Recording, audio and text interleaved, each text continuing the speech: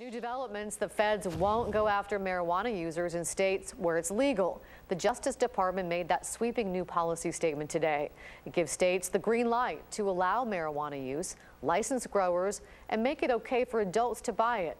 But the federal government says pot must be kept away from kids, the black market, and federal property. Washington and Colorado's legalization of pot for recreational use last fall prompted the change.